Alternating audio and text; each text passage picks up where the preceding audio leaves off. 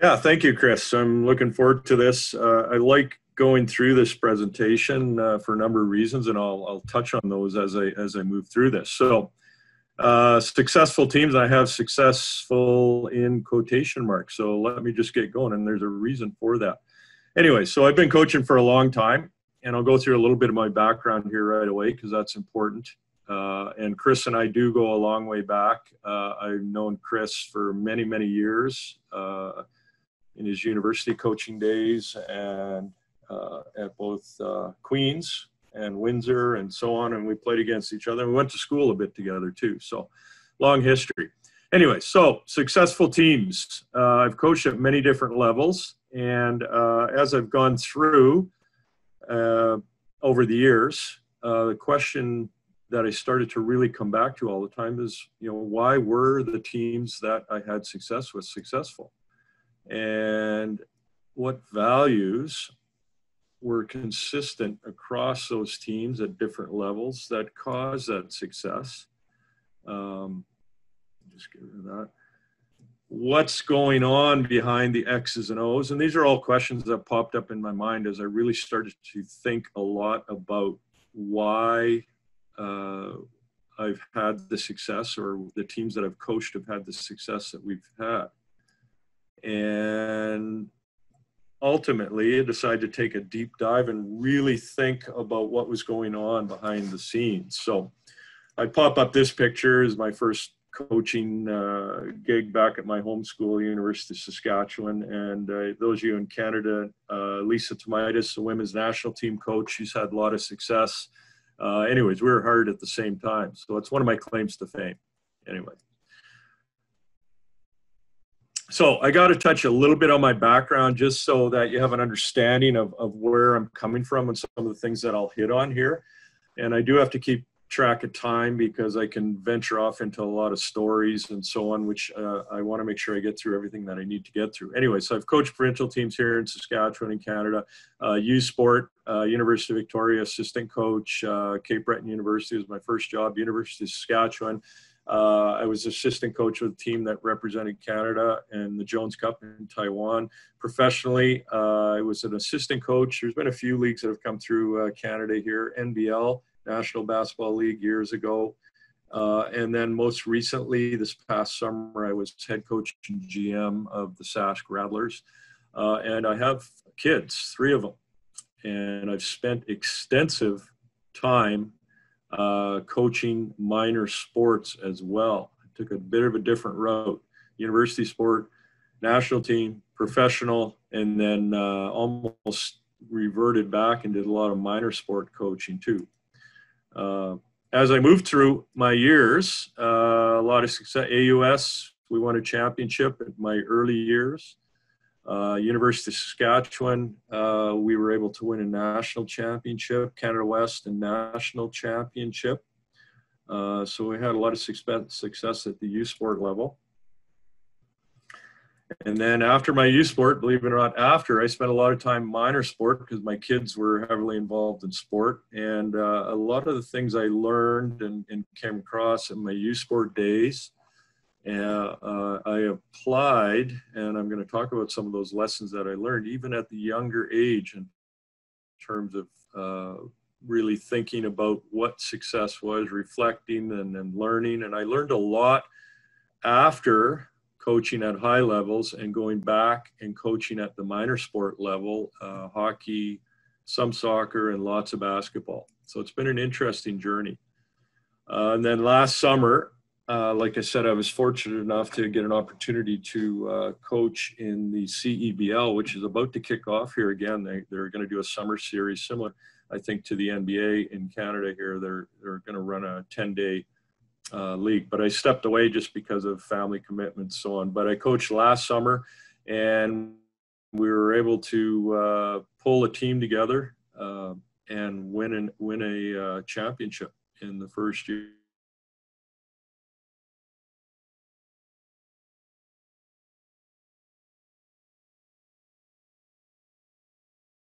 Uh, uh, if you see some names pop up, he's done over the years have, have also influenced me as I've watched him grow and develop and, and uh, apply a lot of his ideas. So let's get to the, the meat of what I want to talk about. So over those years, lots of reflecting, lots of learning and growing. And I just wanted to make this general statement. Uh, I like doing these presentations and talking to coaches.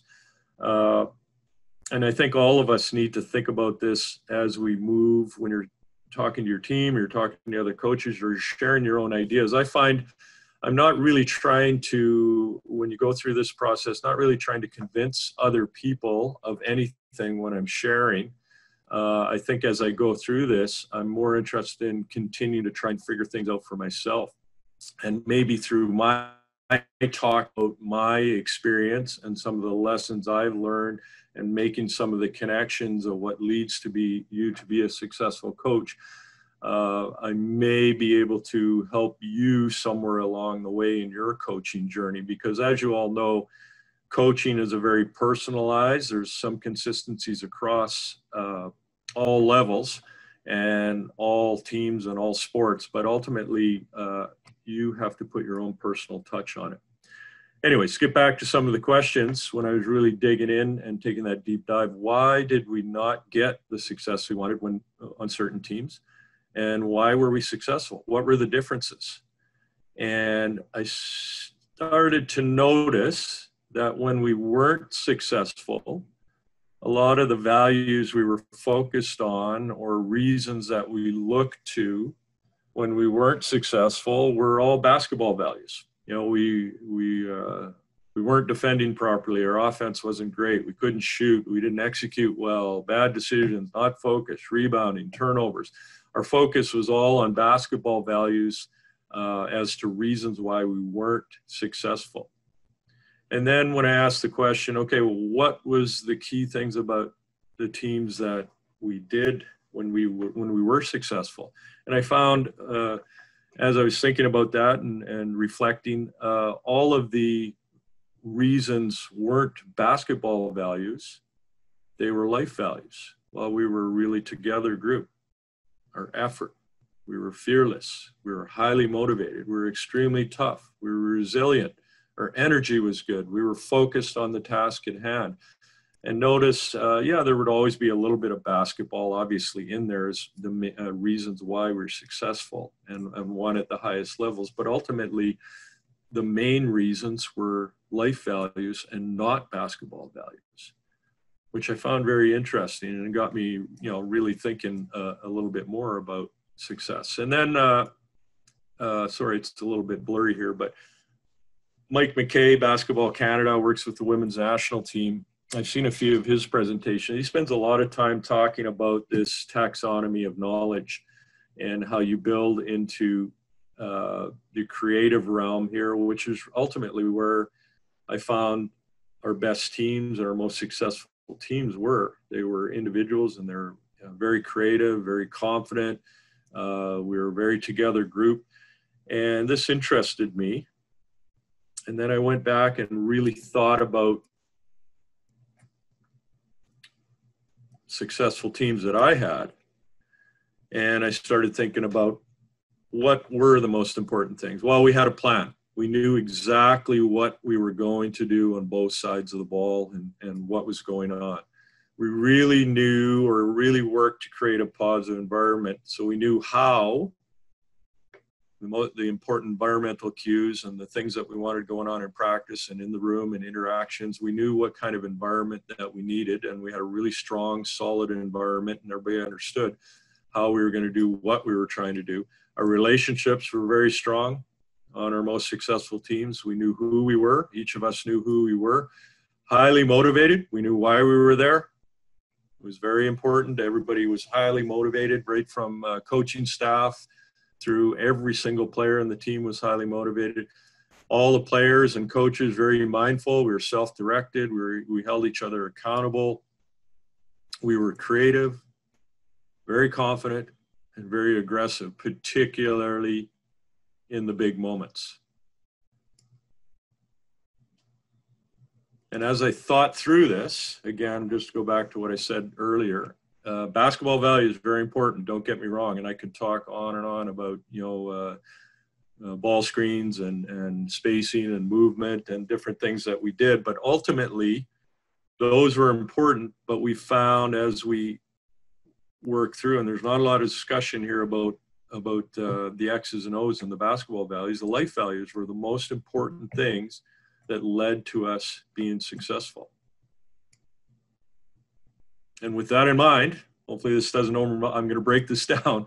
With that in mind, I went back to that Bloom's taxonomy and I said, I tried to take uh, a number of the things that that I just talked about and, and kind of fit them into coaching success. And I, I deem this the coaching success mountain.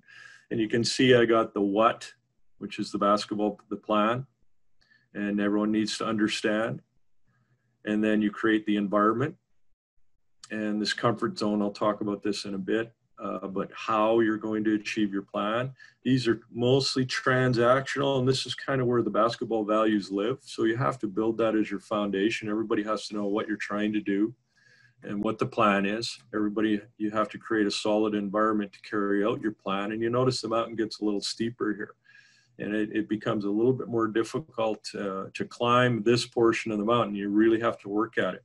And this is where the, the life values really kick in. It becomes more transformative transformational or you become more transformational if you're transactional you're giving information players are accepting it and they're understanding what you're given and it, it's kind of a one-way stream. Transformational means you begin to start to change people. You really get to know them. You get inside them about how they really tick. You get to know the individual.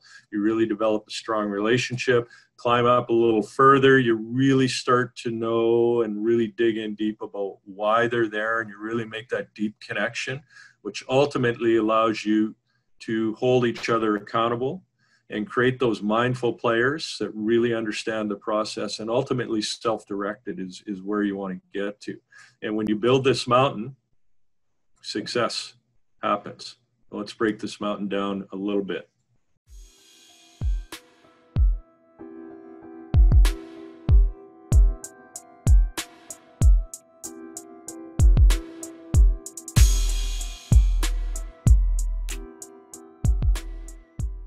You as a coach you have to really have a strong foundation and this plan will evolve over the years. And, and this is not the be all end all but i'm just giving you an idea of, of some of the things uh, that i found over the years in terms of it's important to have a vision of what you want your team to look like. And a vision in my mind is if you had a team picture up on the wall what would you want written as descriptors of that team? And these are just some examples uh, fit, strong, resilient, unified, hardworking, and tough, technically and tactically skilled. So that's what you're striving for. Uh, and again, this is, uh, you have to come up with this yourself, but this just gives you some ideas and example. Mission is how are you going to achieve your vision? And uh, I've got in here using Basketball Canada's long-term athlete development model. They, they've done a lot of work, particularly uh, to uh, identify and to so you can explore that on your own.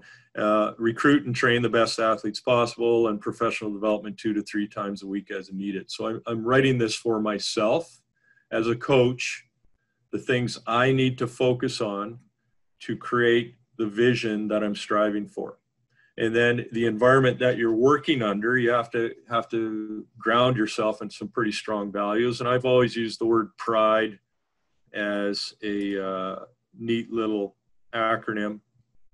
Uh, purposeful. So things we do you're efficient you're focused respectful.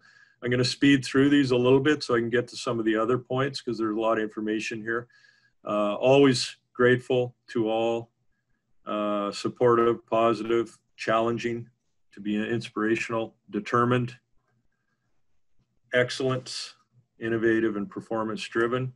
And then uh, the foundations of physically what you want to accomplish. And then you have to think about your style of play and, and the things that are important to you on both sides of the ball. So physically, what kind of standards and testing, depending on what situation you're in, what you know, what's the baseline uh, providing your kids, uh, depending on your situation, with the ability to access training uh, year round, and that may be just in season. You only have them. Might that might be your year if you have contact with them uh, other times of the year, or you build in other sports if you're at the high school level and kids are doing other things. Recovery and regeneration, nutrition, hydration, sleep, and rest. And depending on how much access you have to sport med, you may have to do some of this research on your own uh, and provide it to your kids just to make sure that they physically understand uh, what it means to play at whatever level that you're coaching at and the importance of all those things. And then on the basketball side of the things, have a and again these are these are mine over the years.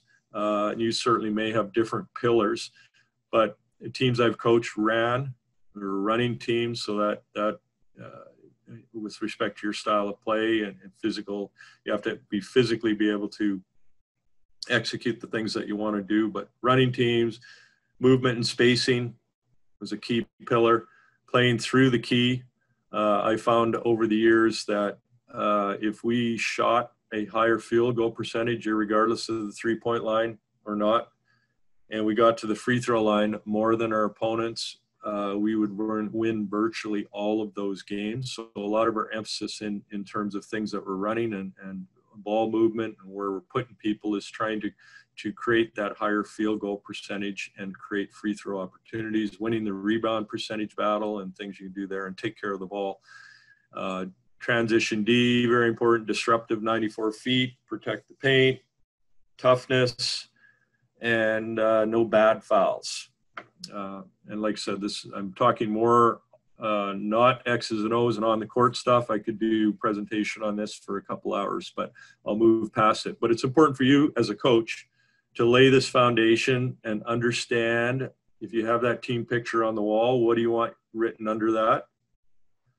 How are you going to accomplish that vision? What kind of values are you going to operate within? What are the physical standards or, or things that you're capable of in your program? And really think about how you want to play the game. And uh, take take your time on that, and it may evolve over time, and, and you, you have to think about it deeply so that you can become well versed and confident uh, as you're teaching it to your team. So have a plan. Make sure everyone in your program understands it. That's the what piece. You really have to make sure, and you know, this is a big wide base. If you don't have a good strong base here and you don't have a good solid plan, uh, you're going to have trouble building up on this mountain. Then you need to create that environment that's going to allow you to uh, work that plan. social, and emotional.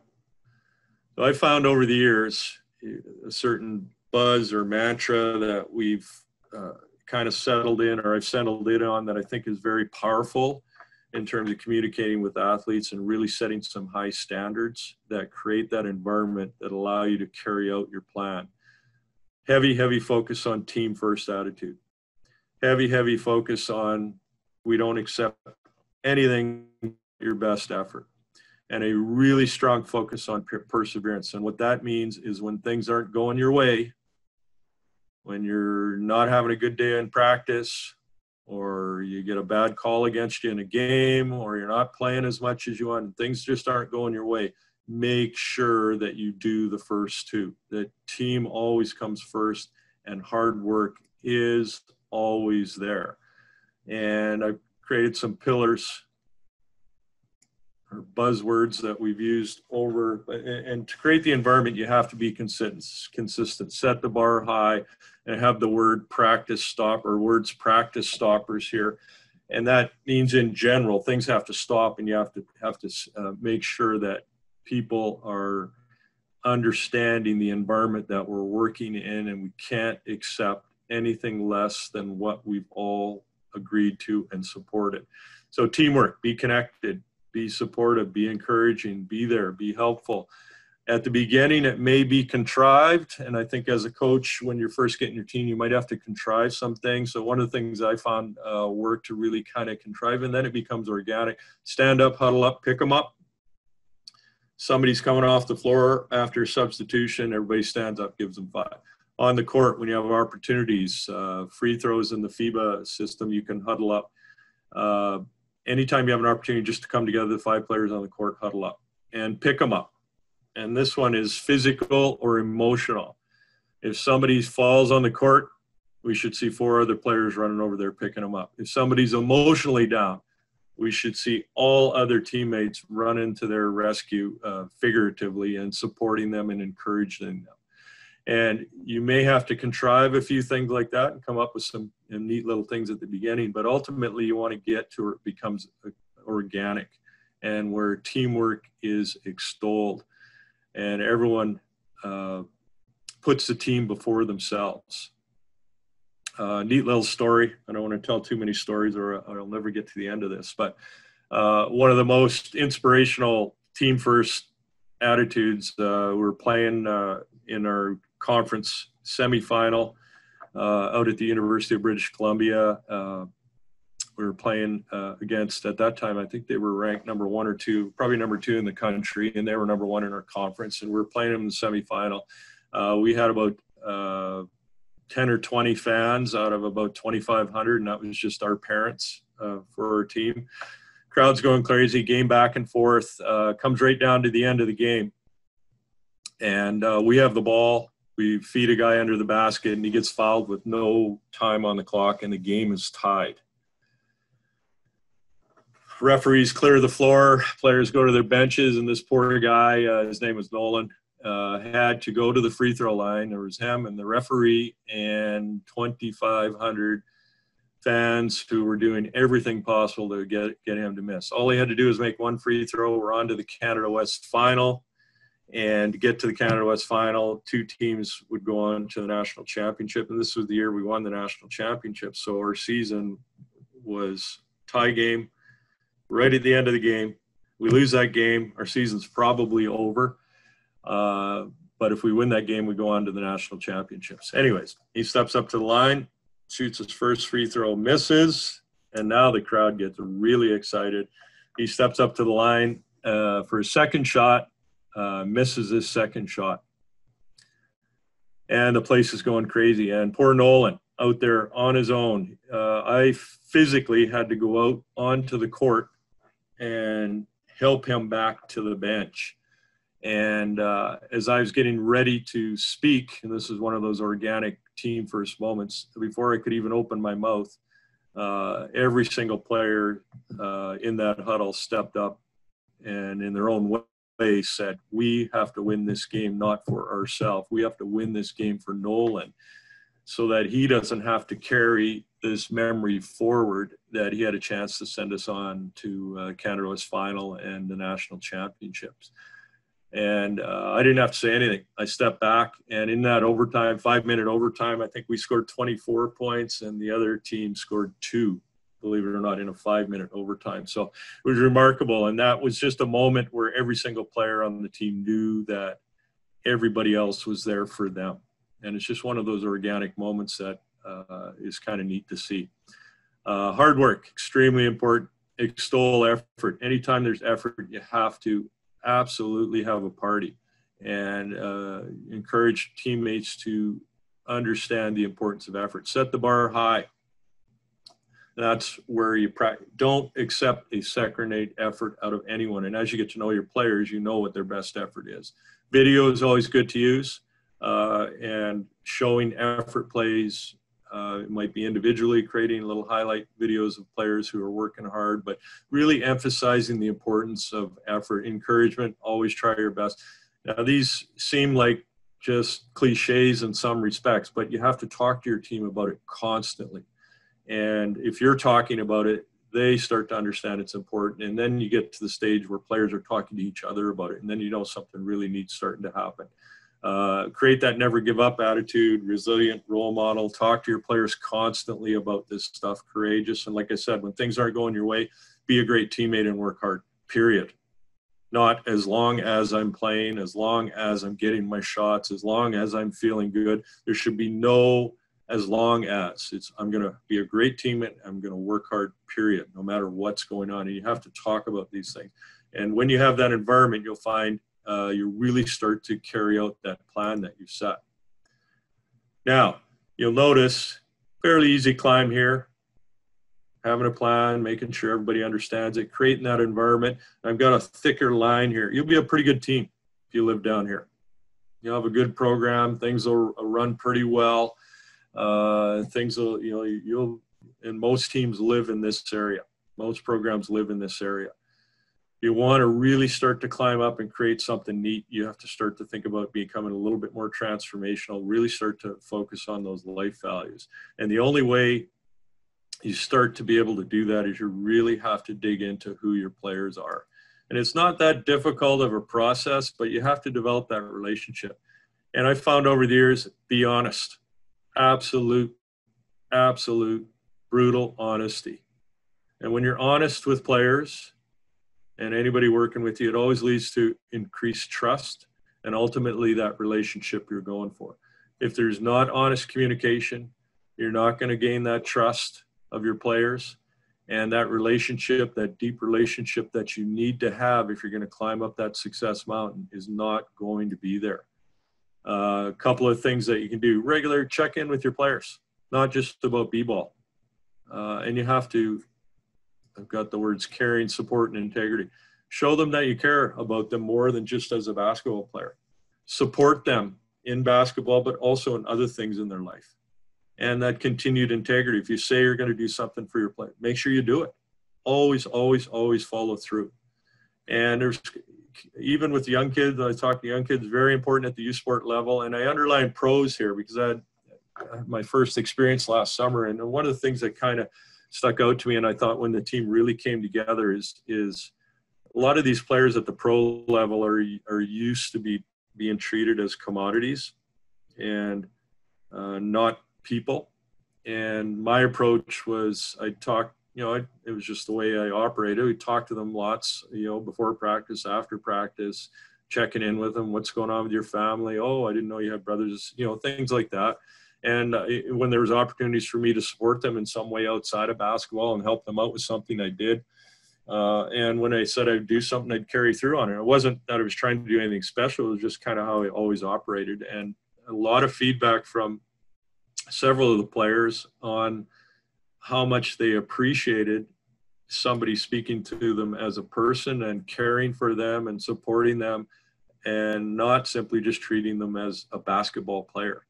And uh, when they started to trust me uh, last summer, and I don't know if any of you followed that CBL, but we, re- we got really good as, as the season rolled on, and there were some ups and downs. But uh, that trust really led to a positive relationship and, and it just keeps growing from there. A couple other things, again, just tying to what I've said before, you got to absolutely speak the truth to your, to your players.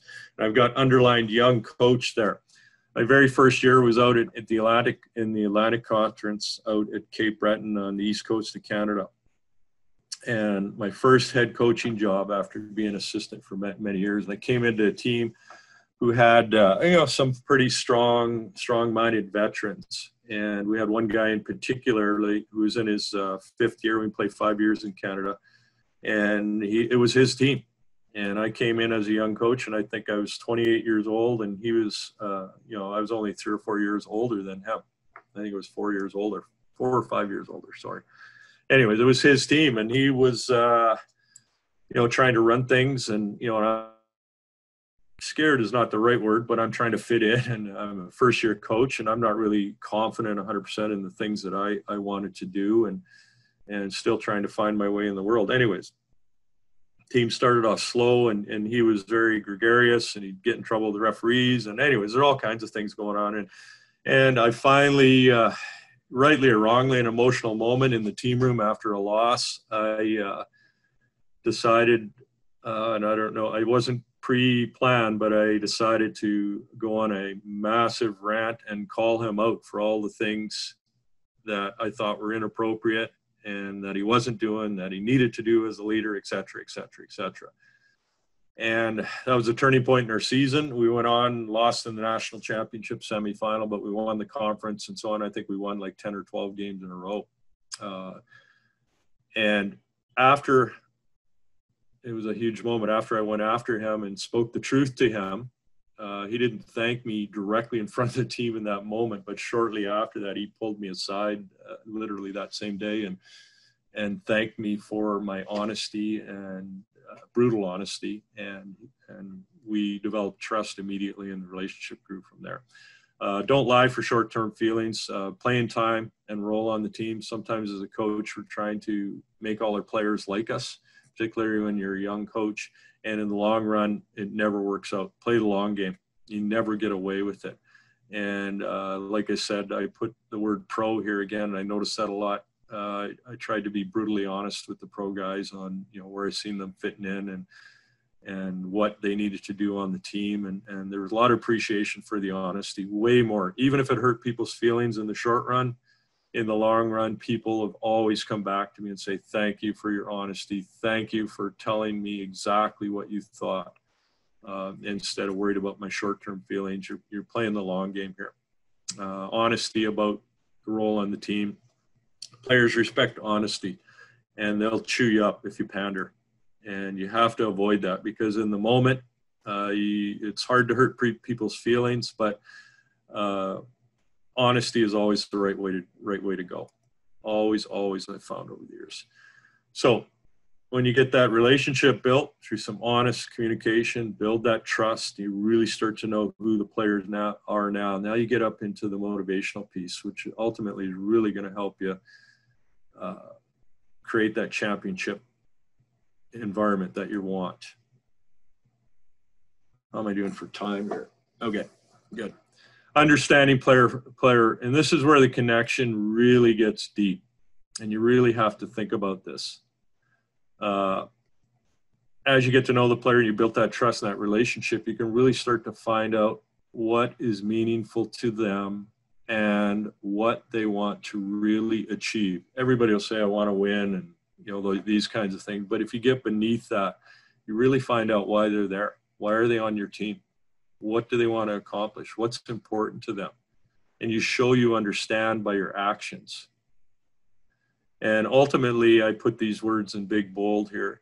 Ultimately when we do anything we as coaches we as people anything in your life and basketball is no different. You go into any situation because you want to enjoy what you're doing and you want to get better at it. And that's the underlying motivation of everybody as a person when you engage in anything that's meaningful to you. You want to enjoy it and you want to get better at it. It's important to understand, and that's been a consistent, uh, deep underlying motivator. And when you pull these words apart, enjoyment is not fun uh, fun is different than enjoyment, but enjoyment only occurs when what you're doing is meaningful to you, and meaning comes from responsibility. I'll talk a little bit more about that in a second. And development or improvement only occurs when someone is uncomfortable.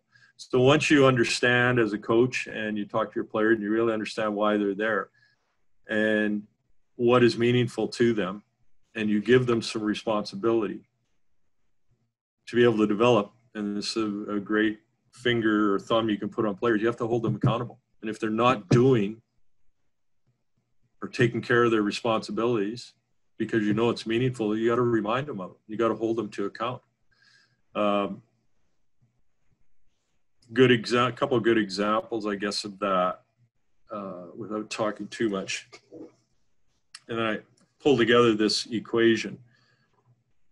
I'll talk about the specific examples, but you you are talking to players and get them to understand that we're all here because we want to enjoy our experience and we want to get better. And the only way to enjoy what you're doing and improve at what you're doing is you have to absolutely put the team first. You got to work your tail off and you have to persevere when things are not going your way. If you don't do those three things, you'll never enjoy fully what you're doing and you'll never develop as much as you want to develop. So you have to get strong buy into that. But example, so we have a point guard on the national championship university team. And he was a, a younger guy and he was playing behind two senior point guards who were both all-star level guys. And ultimately, I played them both at the same time with Showron Glover and Mike Linklater, and Preston O'Brien was the guy sitting behind him, a guy from uh, uh, Regina, another city here in Saskatchewan. he was a pretty good player. But when I talked to him, because as you all know, you need everybody on your team engaged. When I talked to Preston, what was really meaningful to him was being part of the team and he wanted to contribute in some way. And he had an understanding that, you know, there's two senior all star level point guards. He's probably not going to play a whole lot. But he, what was meaningful to him was not necessarily playing a whole lot, but he had to be a contributor to the team. So when I thought about that and we talked about it, uh, I talked to him about giving him the responsibility of how important it was every day in practice to put on his work boots and go out there and challenge the two point guards in front of him in every competitive situation. Because ultimately, that contribution to the team would make the team better and the players better that he was playing against and ultimately really help him improve as a player. So his responsibility was to come out and try to kick their ass every day. And he was pretty good, and some days he would have good moments, but he would never back down. He would never take a, take a step back. He would, in practice, that was his championship moments, would be to come out, and I gave him that responsibility. And I, when and he agreed to it, and, and when he found that he was having an effect where he was contributing to the performance of the team by how hard he was going in practice and how hard he was challenging these guys in every single drill and every single situation. Excuse me, situation.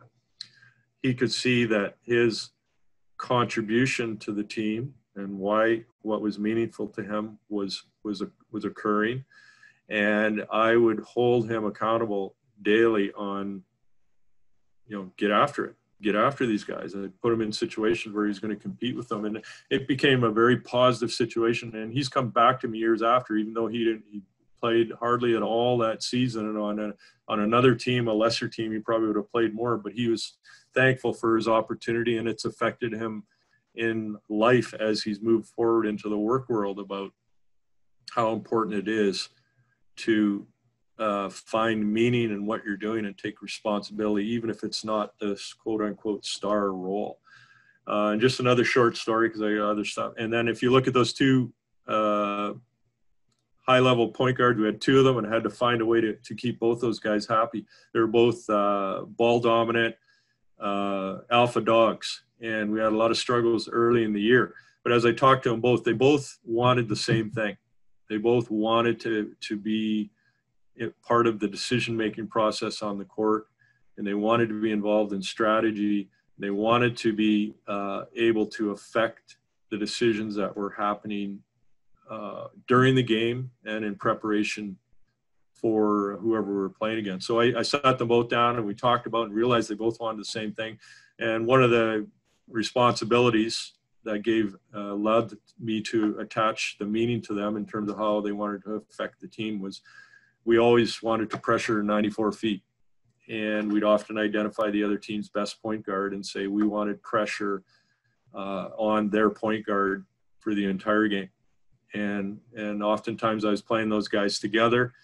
Uh, and I told them, you guys decide based on your energy level and how you're feeling in the moment, who's going to pick up the ball and maybe you're doing it for five minutes and you guys make the decision when you're going to switch off and who's going to pick up the ball.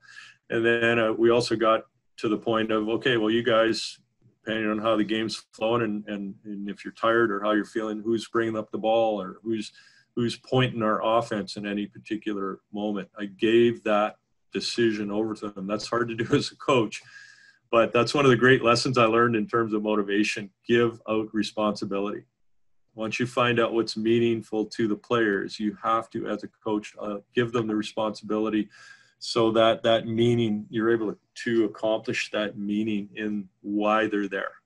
And when you attach those two things uh, boy you get some pretty motivated guys and that carries on throughout the team. It's pretty neat to see. And you hold them accountable. Once you agree on the responsibility as a coach it's your job to remind them constantly about this is what we agreed to this is what you're doing this is what you need to you and and if it's meaningful to them they'll thank you for challenging them.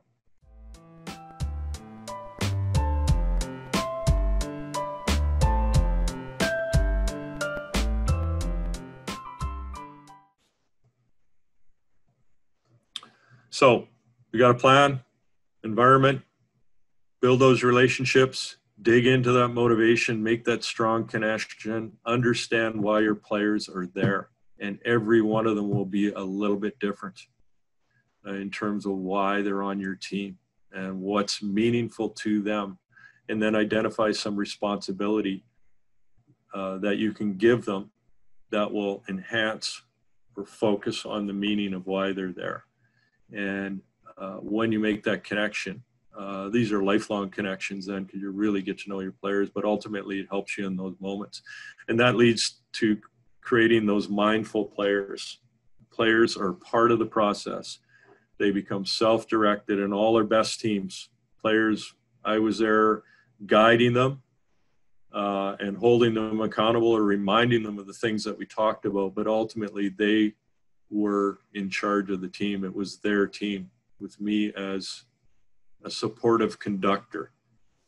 And it's hard to get there as a coach, and your journey up the mountain to this stage is going to be different for each of us because you have to tie your personality close to how you develop relationships for people with people and how you're going to uh, dig into making that strong connection with them and really understand why they're there but those mindful the mindfulness as i've said players understand the process and are engaged and are part of the process. And I'll, I'll come back to this equation that i've seen at all levels and understanding that players are there on your team and people get involved in things because they want to enjoy what they're doing and they want to get better at what they're doing.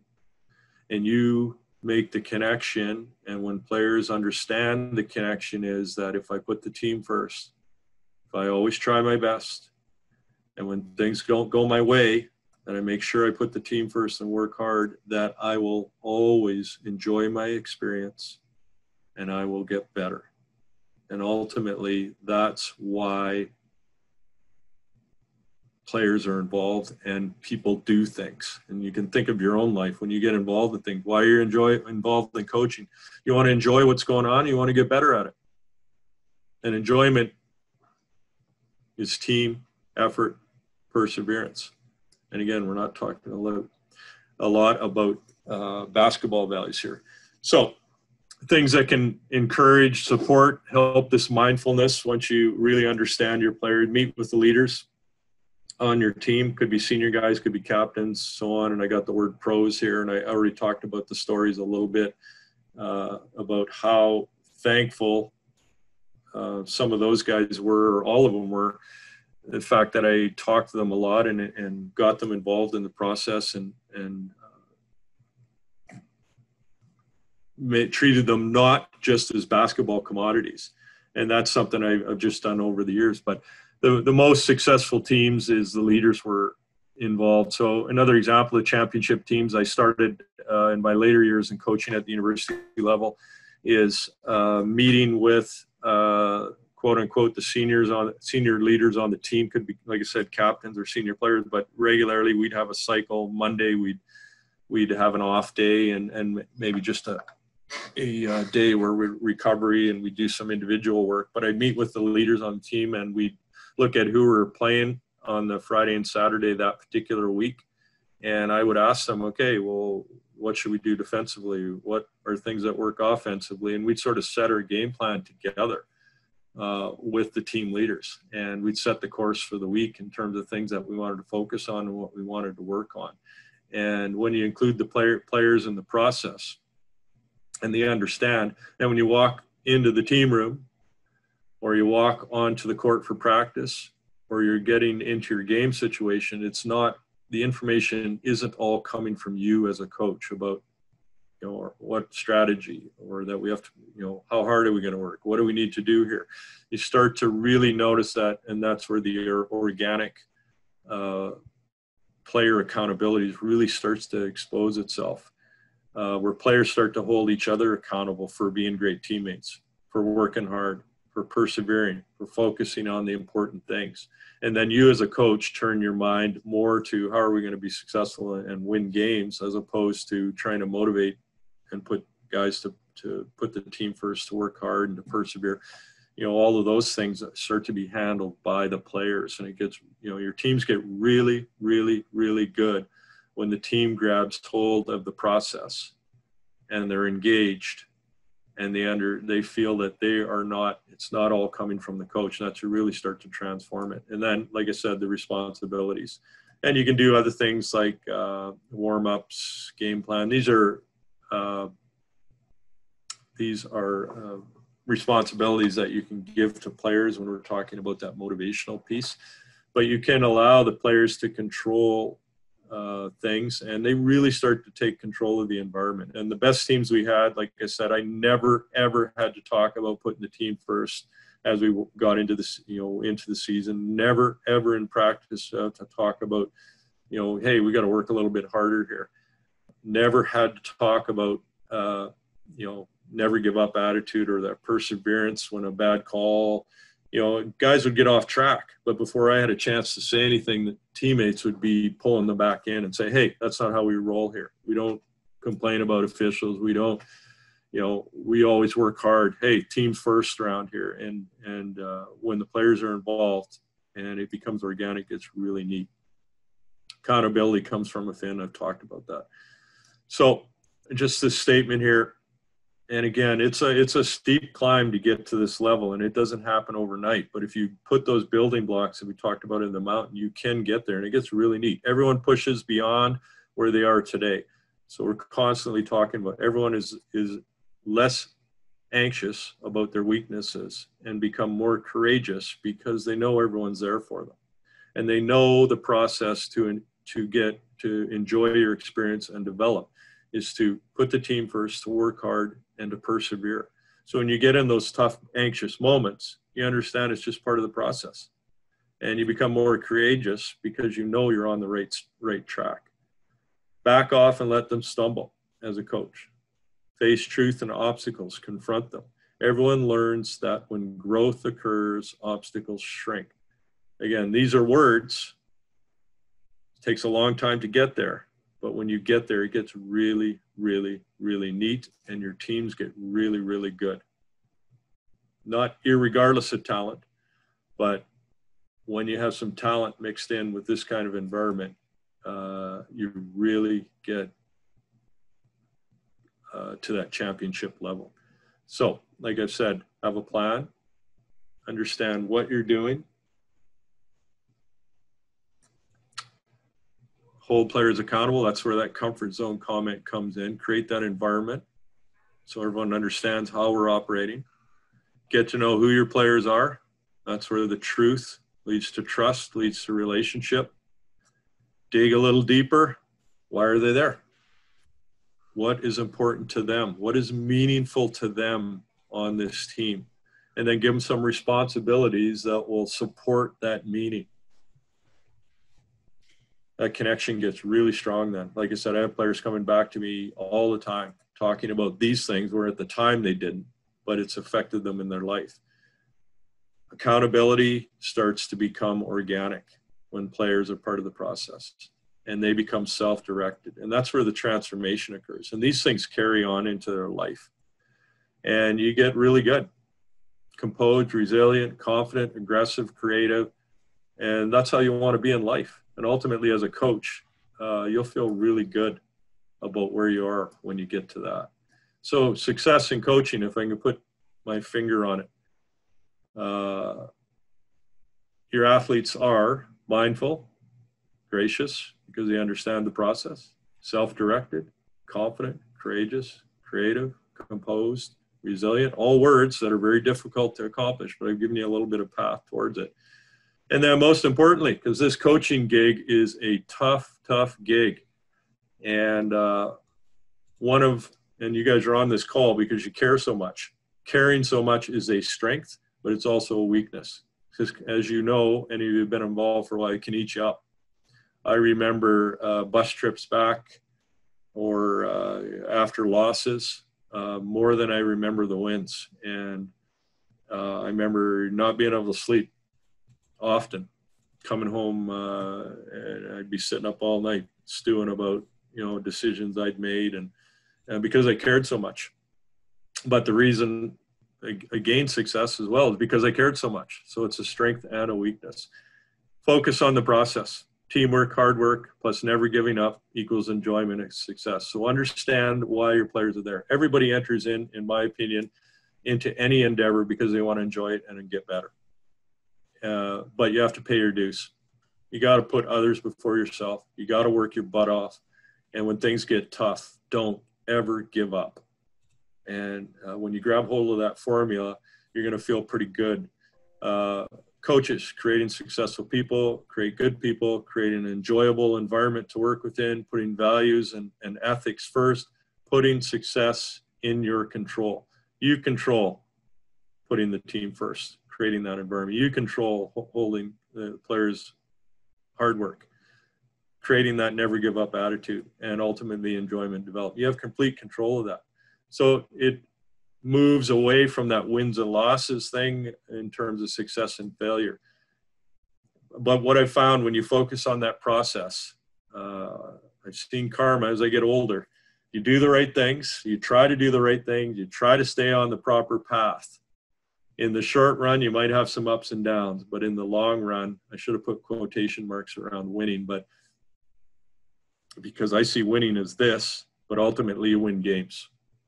And uh, it feels really good when you're focused on the right things and you start to have a lot of success on the scoreboard uh, it gets really, really neat and enjoyable.